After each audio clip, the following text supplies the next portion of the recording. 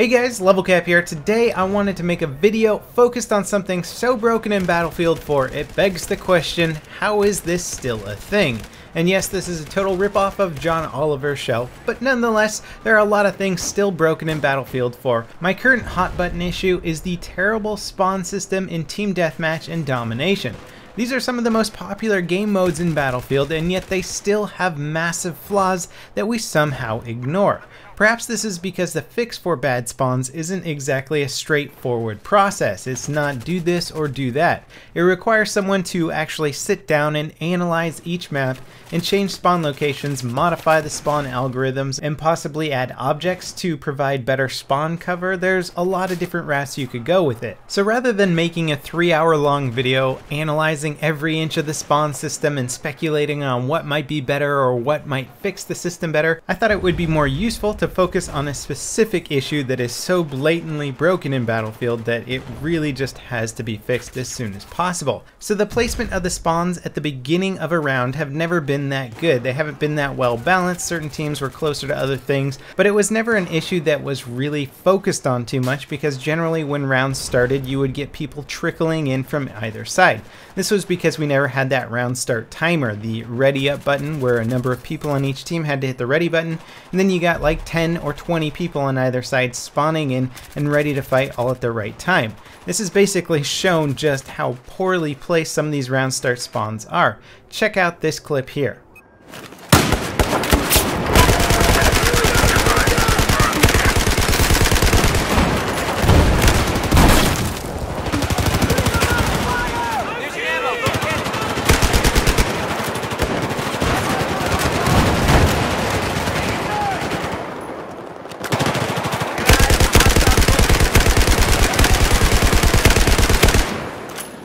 What you just witnessed was about 20 players hostile to each other, less than about 30 feet away, all spawning with no cover in between them. You can even look at the other side while the round start timer is ticking down and take aim. Just hold that left click button or the trigger on your controller and fire as soon as that spawn timer ends, and basically people are going to start dropping like flies. It really does beg the question, how is this still a thing? This spawn problem here was definitely evident as soon as the map was released for Dragon's Teeth. So that means we've had three and a half months to deal with this team deathmatch issue of poor spawns in just this one map since it came out, and nobody's really done anything about it. There's been patches and people focusing on certain issues, but it's clear that the spawn system has gone way overlooked. Now certainly this is one of the worst possible versions of the round start spawns, but it's not to say that it's not happening in other maps, even the more popular vanilla maps. Rogue Transmission spawns the entire teams in line of sight of each other, and a fast-fired rocket in the start of a round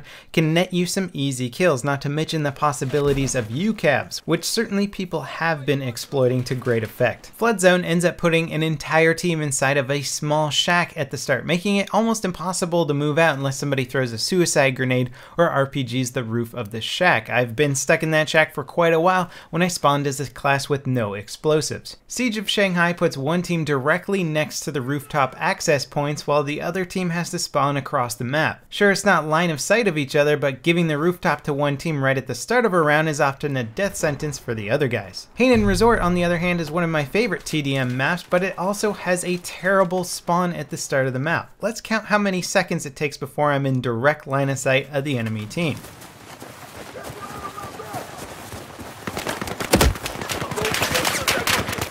Seems like about 3 seconds. Way too quick for your entire teams to basically meet at the start of a round, and frankly if you get the right spawn at the beginning of that map, you can make it even shorter and line up some pretty easy sniper shots or RPG shots. And don't even get me started on the Sunken Dragon TDM map. Most people don't even play it anymore, you can't even find servers playing it because the spawns are just so abysmal. Anyway, the main point I wanted to get across in this video is that round start spawns are not that complicated to fix. It's probably as simple as changing spawn position number one to something else on the map. Heck, DICE, if you really want to get your hands dirty, maybe even make it so not everyone is squeezed together like we're in a cattle car, or even put some cover around some of the open field spawns that just leave you easy pickings for snipers. Take this average TDM spawn on Dawnbreaker. How many sniper glints did I just spawn in front of? Six? Six snipers literally in line of sight of where I'm spawning.